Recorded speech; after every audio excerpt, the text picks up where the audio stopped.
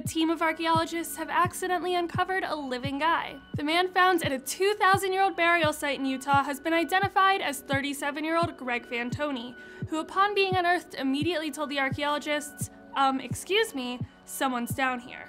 Archaeologists were shocked by the discovery and apologized to the man after he berated them, saying that he, quote, doesn't try to excavate where they live, so why the hell would they where he does? It's not clear what the man was doing under 5,000 pounds of soil, but he has since reburied himself.